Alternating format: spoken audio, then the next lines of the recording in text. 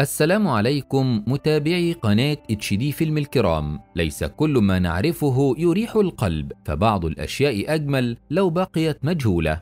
وقبل ما نبدأ لو بتحب أفلام الفنون القتالية والانتقام وأفلام الحركة والأكشن يبقى تدخل لقناتنا الجديدة HD Action. هينزل عليها كل يوم فيلم بأسلوب حماسي. هتلاقوا رابط القناة في الوصف أو على الشاشة. يلا يا أساطير هنستناكم هناك. عن أكشنها. وبيبدأ مسلسلنا النهاردة في قرية يابانية مخيفة اسمها كوغي وبنشوف شرطي اسمه كانوا رايح لبيت مجهول وجواه أشخاص غريبة وبيرفضوا يفتحوا له الباب وفي حد فيهم بيفضل يصوره بكاميرا فيديو فبيحس كانوا بالرعب وبيتهمهم بصوت عالي إنهم آكلي لحوم البشر وبيطلق عليهم النار لكن بتكون نهايته إنهم بيحبسوه وبعد لحظات بنسمع صوت صراخه وبعد أيام بنشوف زوجين وبنتهم بيوصلوا للقرية وبيرحبوا بيهم أهالي القرية وبيتضح إنه يبقى الشرطي المتعين جديد في قريتهم وبيقول لهم إن اسمه ديجو وبيعرفهم بزوجته يوكي وبنتهم ماشيرو. ولما بيدخلوا بيتهم الجديد يوكي بتلاقي كرتونة فيها كتب فبتروح توريها لديجو زوجها فبيلاقيها كتب عن الشرطة ومكتوب اسم كانوا على ظهر كتاب كان ماسكه. فبيفهم إن الشرطي اللي اختفى كان ساكن بنفس البيت وبيقول لزوجته إنه سمع إن الشرطي السابق كان مديون بسبب لعبه للقمار وقدم استقالته. لكنها لما بتشوف صورته اللي كانت في الكرتونة بتحس إنه شخص كويس ومش باين عليه إنه بيلعب قمار خالص. والصبح أهالي القرية بيروحوا للظابط ديجو وبياخدوه في جولة يتفرج على القرية وبيدوه فاكهة من خيرات القرية علشان يفرح بيها زوجته وبعدها بياخدوه على مصنع كبير بيصنعوا فيه الأخشاب من شجر القرية وهناك بيشوف سيدة مسنة بتصنع زيت من الشجر وبتقول لديجو إنهم كانوا بيحطوه زمان على الجثث علشان تمنعها من التحلل. وفي اللحظة دي بيدخل شاب وبيقول لديجو إنهم لقوا جثة على جبل في القرية فبيروح معاهم للمكان وبيلاقيها جثة لسيدة عجوزة من أهل القرية وبيعرف إنهم كانوا بينادوها بالجدة جين وإنها كانت مختفية من ثلاث أيام. فبيقول شخص من اللي واقفين إن اللي قتلها هو دب وده لأن الدببة منتشرة في قريتهم بشكل طبيعي. لكن ديجو بيأكد لهم إن اللي قتلها مش دب وإنها مقتولة بفعل فاعل فبيرفعوا مسدساتهم عليه لأنهم افتكروا إنه بيتهمهم إن هم اللي قتلوها. فبيعتذر لهم وبيبقى واضح إنه خاف منهم. وبعدها بيضحكوا عليه وبيقولوا له إنهم كانوا بيهزروا معاه. فبيتعصب وبيقول لهم لو كرروها هيعتقلهم. وبيتصل بعد كده بقسم الشرطة يبلغ عن الجريمة وبعدها بيكلموه في المعمل الجنائي وبيقولوا له إنهم لقوا أسنان على الجثة وفي الغالب هي أسنان إنسان. والتاني يوم بيروح ديجو يسهر مع رجال القرية علشان يكسب ودهم لأنه لاحظ إنهم صعبين وبيشرب معاهم كأنه صديق ليهم. أما يوكي زوجته هي قاعدة في البيت بتلاقي منقوش على الحيطة كلمة اهرب وساعتها مش بتلاقي بنتها ماشيرو فبتنزل تدور عليها وهي مفزوعة. وبنشوف البنت ماشية بعيد وبيطلع لها شبح مرعب وبيخرج من بقه صباع بشري لحد ما بتوصل مامتها فبيختفي الشبح وبتطلب منها مامتها ما تخرجش تاني لوحدها. ولما بيرجع ديجو على البيت يوكي بتوري له الحيطة اللي مكتوب عليها اهرب وبتقول له إن الظابط اللي قبله أكيد هو اللي كتبها على الحيطة وبتحكي له إن بنته خرجت لوحدها فبيدخل يشوفها وهي نايمة. فبتقوم لما بتسمع صوته وبتدي له علبة وأول ما بيفتحها بيلاقي فيها صابع بشري وبيفهم إنها لقيتها لما خرجت فبيخبي العلبة في جيبه قبل ما تشوفها زوجته وتخاف. وبعدها بينادي عمدة القرية في الميكروفون على رجال القرية وبيقول لهم إن الجو مناسب لصيد الدببة. فبيروح ديجو معاهم لكن بيهجم عليه دب وبيعضه في كتفه. فبينقذه شخص معاه وبيقتل الدب. وبتكون كل القرية مقتنعة إن ده الدب اللي قتل الجدة جين وبيتفاجئ ديجو إنهم بعد ما ذبحوا الدب أكلوا من لحمته. وبيروح كيسوكي يديله قطعة لحم ياكلها. بحجة إنهم لو أكلوا من لحمه الجدة هتعيش معاهم بلحمها ودمها. فبياكلها ديجو قدامهم وبعد كده بيلف وشه وبيرميها. وبالليل وهو راكب العربية مع زوجته بيجي له اتصال من المعمل الجنائي وبيقول له الدكتور إن الصباع اللي اداهولهم ما طلعش بتاع الجده جين. وبعد أيام بيقرروا يودوا بنتهم مدرسة في القرية علشان تتفاعل مع الأطفال لأنهم لاحظوا إنها ما بقتش تتكلم بشكل طبيعي زي الأول. ولما بيروحوا المدرسة بيشوفوا جنازة الجده جين بطقوس أول مرة يشوفوها وبيكونوا شايفين عيلتها لابسين أبيض ومداريين وشهم. وبيحصل خلاف في الجنازة بسبب إنهم بيلاقوا عددهم زايد واحد فبيكشفوا وشهم وبيلاقوا إن الشخص الزيادة هي بنت الضابط كانوا اللي اختفى وجاية من بره القرية تسأل عنه فبيقولوا لها إنه فقد عقله بسبب الديون ومشي من القرية فبيروح لهم ديجو لإنه لقى راجل منهم هيضربها فبتقول البنت لديجو إنهم بياكلوا لحوم البشر ولما بيجي واحد منهم يضربها تاني بيظهر راجل لابس أبيض زيهم وبيشد شعر اللي بيضربها وبيطلعه في إيده ولسه هيقرب من بنت الضابط بيمسكوا واحد من ظهره وبيقول لها تهرب مع مع الضابط ديجو بسرعة فبيجروا هما الاتنين. وبيروح يوصل البنت لمحطة القطر وبيستغل ديجو ركوبها معاه وبيسألها عن أهل القرية. فبتقول له إنهم بياكلوا لحم بعض بعد ما بيموت حد فيهم. اعتقادا منهم إنه هيكون اللي مات جزء من أجسادهم. وبكده هيكون عايش معاهم وهي دي طريقة حدادهم. وبتوضح له إن والدها عمره ما لعب قمار وما استقالش من وظيفته زي ما بيقولوا. وإنها آخر مرة شافته كان رايح لعيلة جوتو وكان باين على وشه الخوف. ووقتها لما بلغت الشرطة عاملوها على إنها مختلة زي باباها بعد ما سمعته بقت سيئة بسببهم وبيعرف منها إن والدها مختفي من أسبوعين وبعد ما بتوصل المحطة وبيجي يرجع على القرية بيلاقيهم قافلين الطريق وبيظهروا شخصين وبيقول له واحد منهم ما يصدقش كلام بنت الشرطي وبيوري له فيديو للشرطي كان مسجله له يوم اختفائه وكان واضح إنه بيتصرف بجنون وبيتهمهم بإنهم آكلي لحوم البشر وبيحذر الشخص ده ديجو إنه يدور ورا القضية دي وآخر اليوم لما بتروح زوجة يوكي تجيب بنتهم من المدرسة بتمشي مع مامة زميل بنتها وبتقول لها إنها سمعت إن زوجها ديجو بيسهر مع عيلة غوتو وبتحذرها منهم لإنهم متوحشين وعاداتهم غير عادات الناس التانية في القرية. وبعدها بيجي اتصال لكيسوكي بإنهم يقتلوا ديجو لإنه بيدور وراهم. فالمجموعة اللي معاه بيروحوا علشان يقتلوه وبنشوف ديجو رايح على نفس البيت اللي راحه الظابط كانو وبيفضل يخبط على الباب. وكالعادة في واحد بيصوره بكاميرا وبتيجي عيلة غوتو وبيرفعوا عليه الأسلحة وبيطلبوا منه يمشي من المكان لكنه بيرفض وبيظهر من البيت بشر بشكل مخيف وبيستفز واحد منهم ديجو وبيقول له إنه عارف إنهم نقلوه للقرية هنا لإنه قتل قبل كده فبيتعصب ديجو وبيضربه ولما بيحاولوا يتصدوا له بيقدر إنه يضربهم كلهم وبيطلب منهم إنهم يروحوا معاه على قسم الشرطة ويحكوا إيه اللي حصل للظابط كانو فبيقوم واحد من المضروبين يقول له إنه كسر القواعد وتعدى على عيلة غوتو وإنهم مش هيرحموه لا هو ولا عيلته ولما بترجع زوجته وبنته بتكون عيلة غوتو مستنياهم وبيحاصروهم بالسلاح أما ديجو فبياخد اللي ضربهم على القسم في عربية الشرطة علشان يعترفوا. وفي الطريق بتجيله رسالة صوتية من المعمل الجنائي بأنهم اكتشفوا إن الصباع البشري طلع بتاع الظابط كانو وبعد لحظات بيظهر شبح بشري وبيضربه وبيقع موبايله على الأرض وبيسحبوا الشبح علشان يرميه في أي حتة بعيدة عن القرية. وهنا بنرجع للماضي لما كان ديجو بيجري ورا حرامي ولما مسكه فضل يضربه بوحشية. وفي يوم بنته ماشيرو بتخرج تلعب مع الأطفال فبيجي شاب وبيشاغلها من بعيد فبيجري عليه ديجو وبيضربه وبيحذره إنه يبطل يشاغلها تاني. والغريب إن بنته الطفلة بتزعل منه لإنها بتحبه علشان بيضحكها. ولما بيروح ديجو يحضر اجتماع مع محققين الشرطة بيقول لهم القائد على الأشخاص المشتبه فيهم بالتحرش بالأطفال والاعتداء عليهم وبيلاقيهم عارضين صورة الشاب ده منهم. ولما بيخرج من الاجتماع بيجيله بلاغ إن في طفلة عندها 8 سنين موجودة في بيت الشاب المشتبه فيه فبيجري على البيت وبيلاقيه مقفول. وبنرجع للحاضر تاني. بعد ما بيفوق ديجو بيلاقي نفسه في المستشفى وزوجته واقفة قدامه وبتفرح انه فاق. فبيسألها إيه اللي حصل؟ فبتحكي له إن الطوارئ لقيته مرمي قرب النهر وبيقولوا له إنهم افتكروه ميت. فبيفتكر اللي حصل له ووقتها بتجيله عيلة غوتو على المستشفى علشان يزوروه ويعتذروا له على اللي حصل منهم. فبيقول لهم إن اللي ضربه شخص غريب الأطوار. ولما بيوصف شكله كيسوكي بيأكد له إنه مفيش حد من عيلتهم بالمواصفات دي. وبعدها كيسوكي بيقول لديجو إن في مجموعة ما سلمتش نفسها وهربت وإنه مش ضامن رد فعلهم وبيقول له ياخد حذره منهم. فبيقوم ديجو هو لسه مريض وبينزل يدور على المجموعة اللي هربت. ومش بيلاقي موبايله معاه فبيفهم إنه وقع منه وقت ما كانوا بيضربوه. وعلى الجانب الآخر بنشوف اتنين من عيلة غوتو وهم ماسكين موبايل ديجو وبيسمعوا رسالة المعمل الجنائي عن صابع كانو وإن عليها مادة شبه لعاب الإنسان وده معناه إن بشري هو اللي قطم صباعه. فبيبعت واحد منهم رسالة للدكتور على إنه ديجو وبيطلب إنه يقابله.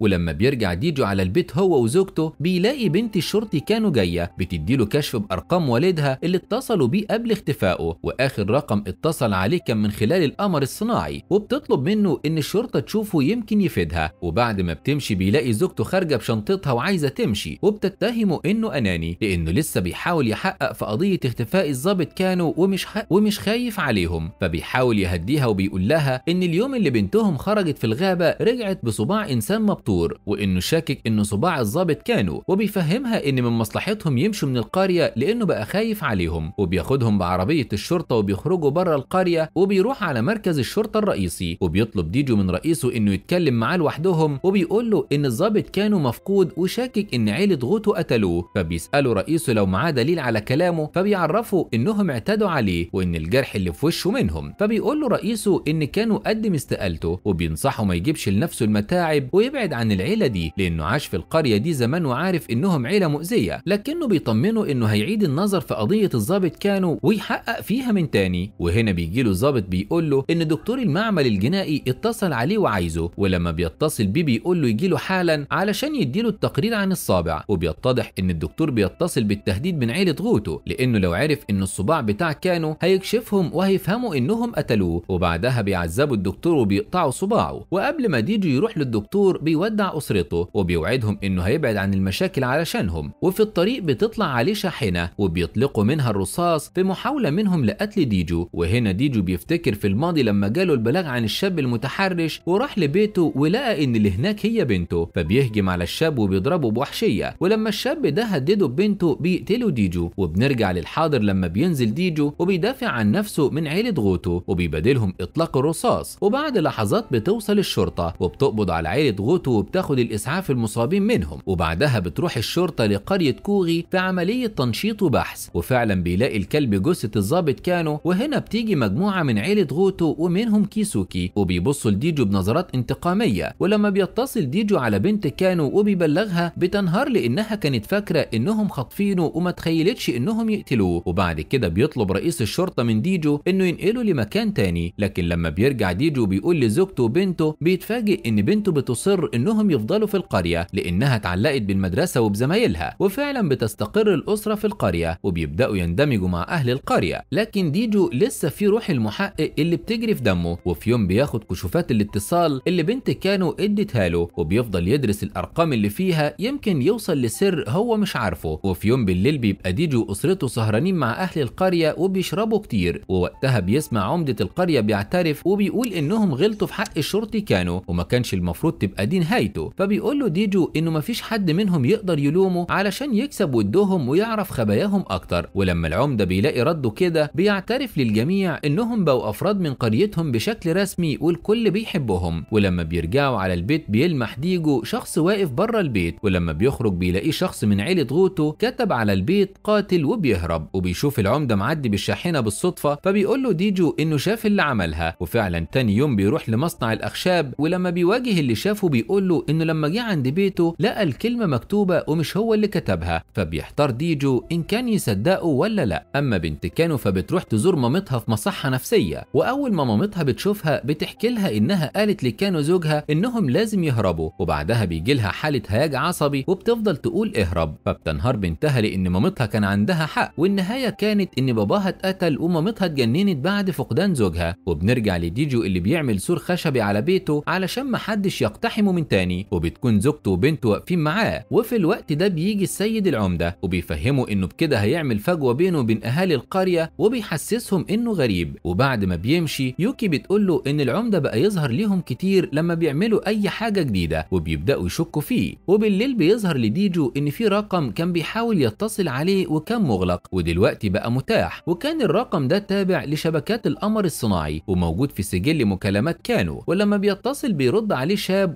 ولما بيطمن إنه زميل كانو بيقول له يقابله لوحده فبيرفض ديجو وبيعمل بحث على آخر رسالة وصلت لكانو من الرقم ده وبيحدد موقع الرقم وبيركب العربية وبيوصل للمكان اللي الجهاز حدده فبيلاقيه مكان مهجور ولما بيدخلوا بيسمع صوت بيناديه وبيكون الصوت ده شايفه من كاميرا وبيلاقيه شاب وشكل وشه غريب وفي جزء منه متحدد كأنه لعبة بازل وبيتكلموا مع بعض وبينهم سور زجاجي ولما بيسألوا ديجو هو مين بيقول له إن هو السر اللي القرية بتحاول تخفيه عنه وبعدها بيشيل جزء من وشه كأنه مركبه صناعي علشان يداري بيه وشه الحقيقي اللي التهمه واحد من أهل القرية وبيحكي له إن ده حصل له من 18 سنة وهو صغير ومن بعدها مشي من القرية ولما كبر اكتشف إنه مالوش شهادة ميلاد وبعدها عرف إن القرية مش بتطلع شهادات ميلاد للمواليد علشان يعرفوا يلتهموا اللي عايزينه منهم ومحدش يكشفهم فبيفهم إنه اتقرب من الضابط كانوا علشان ينقذ ضحايا القرية لكنهم قتلوه وبيعرفوا إن المهرجان اللي هيقام قريب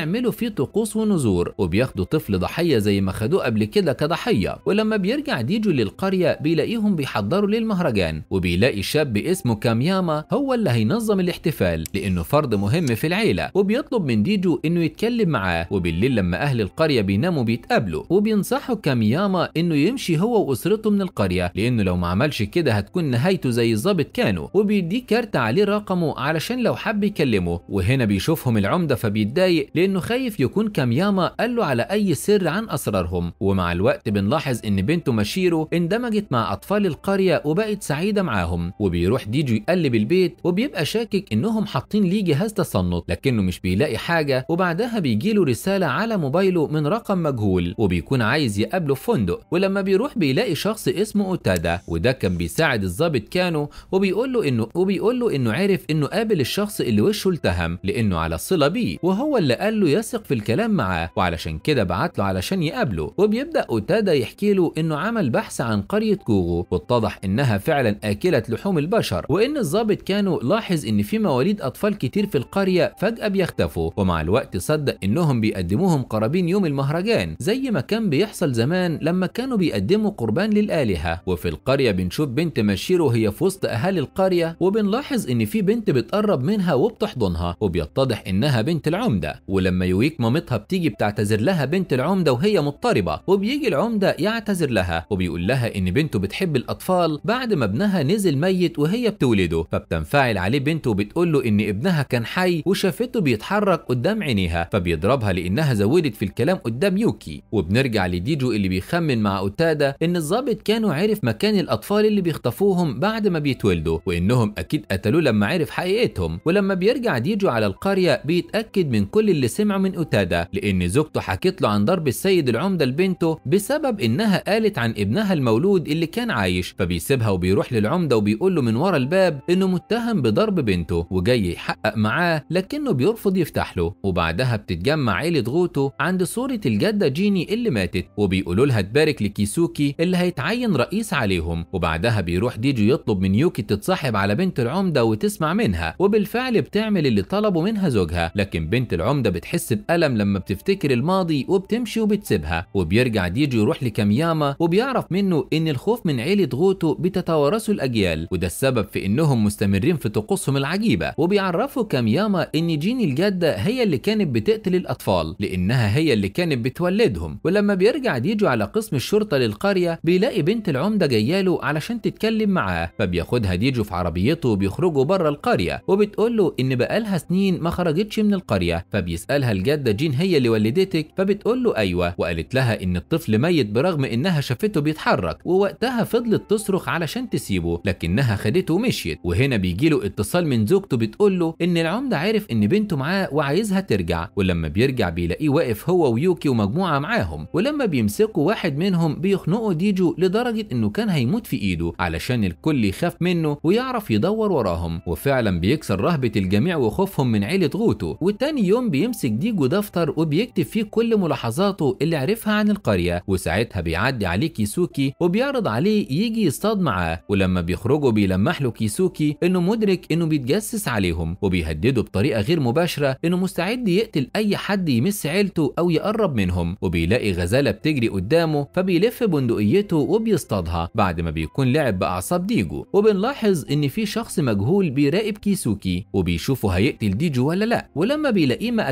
قتلهوش بيروح يقول لصاحبه وبيتفقوا إن هم اللي هيقتلوه قبل ما يفضح عيلتهم ولما بيرجع ديجو للبيت بيكتشف إن بنته مش موجودة فبيخرجوا يدوروا عليها وبتروح زوجته للعمدة تستنجد بيه. وبيتهموا ديجو إن أكيد ليه يد في اختفاء بنته. وبعد شوية بتقدر بنت العمدة تلاقي ماشيرو بنت ديجو قاعدة عند بحيرة مع طفلة من أهل القرية. وهنا العمدة بيحرج ديجو إنه اتهمه بالباطل وبيقول له إن تصرفاته بقت بتفكره بالظابط كانوا. ولما بيرجع ديجو البيت بيحذر زوجته وبيقول لها لازم تاخد بالها من بنتهم لأن أهل القرية بياكلوا لحوم البشر لكنها ما بتقتنعش بكلامه وبتقول له إنه بيبالغ. وبعد شوية بيجي اتصال من دكتور المعمل فبيروح ديجو يقابله وبيكون الدكتور في صحة أفضل من الحادثة اللي اتعرض لها من عيلة غوتو علشان يخفوا أمر صباع الظابط كانوا وبيقول له الدكتور على حاجة مهمة وهي إن الظابط كانوا جاب له الجده جين في يوم على معمله علشان يعمل لها تحاليل لأن حالتها كانت غريبة وأطرافها بترتعش وبتضحك بشكل مخيف. وبعد فحصها اكتشف إنها مصابة بمرض اسمه كورو وده مرض كان شائع بين السكان الأوائل اللي كانت عاداتهم أكل الجثث. وبيقول له كمان إنه بدأ يفحص سجلات أهل القرية ولقى طفل عنده ست سنين عنده نفس أعراض مرض الجدة جين وإن مفيش ليه أي شهادة ميلاد. وبيقول له إنه سجل قديم من سنين كتيرة وإن عمر الطفل دلوقتي زمانه 70 سنة لو كان عايش. فبيقول له ديجو إنه عايش وبيفتكر الشخص اللي شافه زمان في جنازة الجدة وكان شكله مرعب وإن أهالي أهالي القرية بيسموه ذلك الرجل. وفي القرية بيبدأوا الاحتفال بالمهرجان وبيشعلوا النيران وبيدقوا الطبول وبيرقصوا وبتبقى ماشيرو بترقص معاهم. ووقت الاحتفال كيسوكي بياخد شاب صغير معاه لكهف مهجور محدش يعرف مكانه غير عيلة غوتو. وبيغطوا وشهم وهم داخلين وبيكون جوه الكهف أطفال محبوسة في زنزانة. وبيقول للشاب إنه هيتولى مهمتهم لأنه هيكون رئيس القرية ومش هيكون فاضي للمهمة دي. وبيقول له إن كل سنة يوم المهرجان هيطلع طفل يقدمه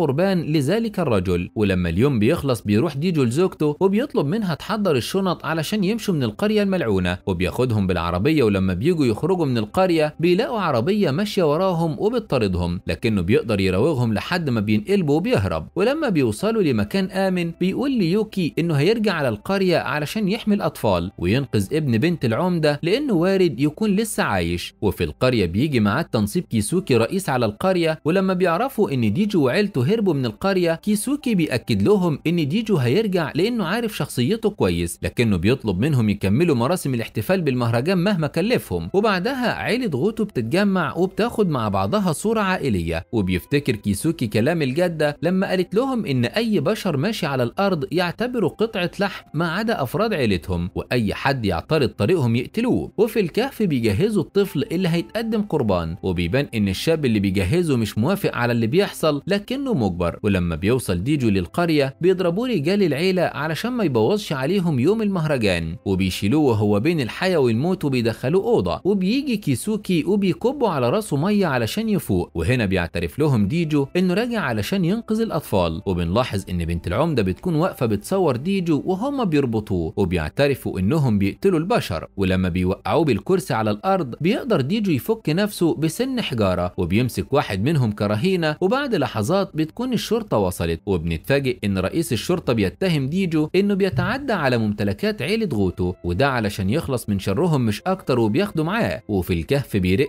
قلب الشاب على الطفل وبيخليه يهرب قبل ما يقتلوه ويتاكل لحمة. ولما بيوصل ديجو لقسم الشرطة بيعترف رئيسه إنه كان السبب في موت زميله كانو لأنه لما جه وحكى له عن أفعال قرية كوغو ما صدقوش. وبيبدأوا باقي المحققين يقولوا لديجو إنهم عرفوا من تحليل صباع كانو إن اللعاب اللي عليه بتاع بشري. وإن هو اللي التهمه. فبيقول لهم إن اللي بيلتهم في القرية شخص بيسموه ذلك الرجل وإن طوله مش عادي. وبيحكي لهم على الشاب اللي أكله نص وشه وهو صغير ولو ما كانش هرب كان مات. وفي الكهف بيدخل شخص من العيلة وبيضرب الشاب قبل ما الطفل يهرب. وبيبقى شاكك إنه هو اللي بيخونهم وهو اللي بيبلغ ديجو بكل أسرارهم. فبيحبسه مع الطفل لحد ما يشوف حكايته. وبيحصل إن كامياما بيكون مستخبي بين الشجر وبيراقبهم. وبعدها بيبعت رسالة لديجو بموقع الأطفال المحتجزة وبيكونوا في قسم الشرطة عاملين خريطة وبيتفقوا إزاي هيقتحموا المكان وينقذوا الأطفال في الوقت المناسب. وبيوافق فريق التحقيق الخاص إنه يساعدهم لو جابوا دليل على كلامهم. فبيتصل ديجو على الشاب اللي مستخبي ووشه متاكل وبيطلب منه يحكي اللي يعرفه كدليل. فبيحكي وبيقول إن مامته هربت بيه يوم المهرجان بعد ما كان هيموت وإنها لسه عايشة. ولو وافقت تيجي معاها يعترف بكل حاجة. وبعدها بيروح يتكلم مع مامته وبيتضح إنها مش مامته الحقيقية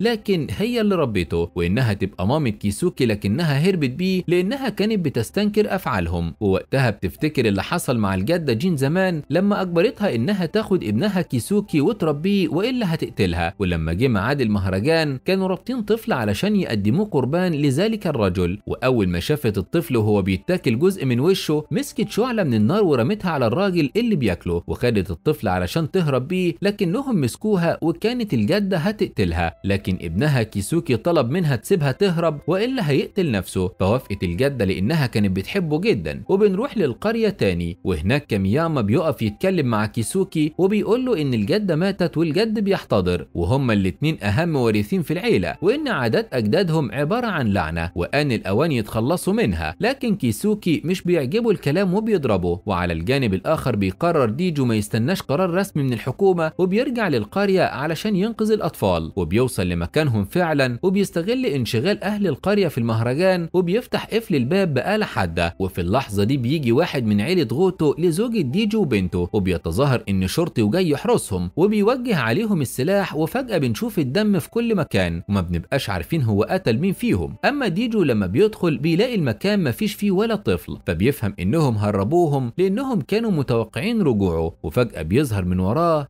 ذلك الرجل. وبكده بينتهي مسلسلنا النهارده. ما تنساش تدعمنا ب like وتكتب لنا رأيك في comment علشان توصل لك كل ملخصات HD Film.